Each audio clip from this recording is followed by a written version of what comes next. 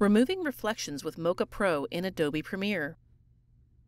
In this tutorial, I will show you how to quickly remove distracting window reflections from a shot using the Mocha Pro plugin for Adobe from Boris FX. Unwanted objects, shadows, or even reflections of the camera crew can ruin a shot. Fortunately, the Mocha Pro plugin for Adobe includes a powerful object remove workflow that can simplify complex cleanups into a few simple steps. First, we apply the Mocha Pro plugin to our clip on the Premiere timeline and open the Effects Editor. Hit the Launch Mocha Pro button, and Mocha will automatically open our clip into the user interface. We need to make sure we are working in Classic mode to use the Remove module, so if you are set to Essentials, make sure to use the drop-down menu here and select the Classic workspace. Now that Mocha is open, I need to track the background layer. I select my X-Spline tool and draw a shape around the window. This layer is the background track, and this is how the remove process works. It pulls clean pixels from the background layer and matches the position based on planar tracking. Next, I will draw a shape around the reflection that I want to remove.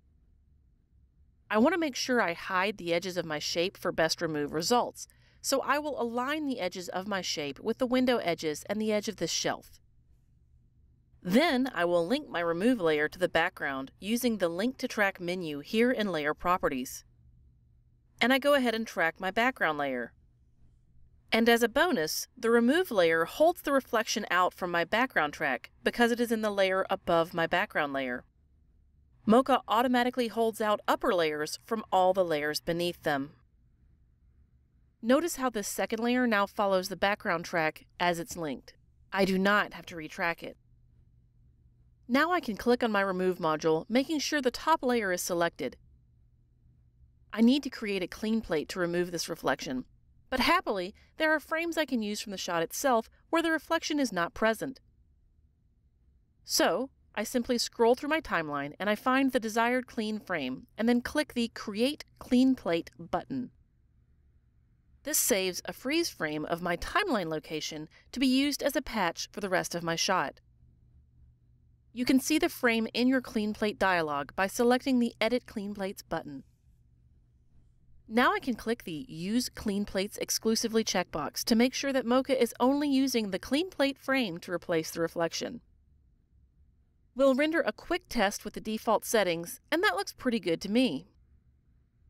For more advanced shots, the Remove module also has illumination render options to match lighting and color shifts. If I wanted to match illumination values, I would use illumination modeling, but for this shot, that's not necessary.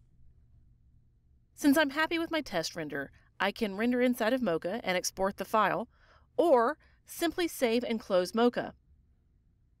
Back in Premiere's Effects controls, I can select the Render checkbox.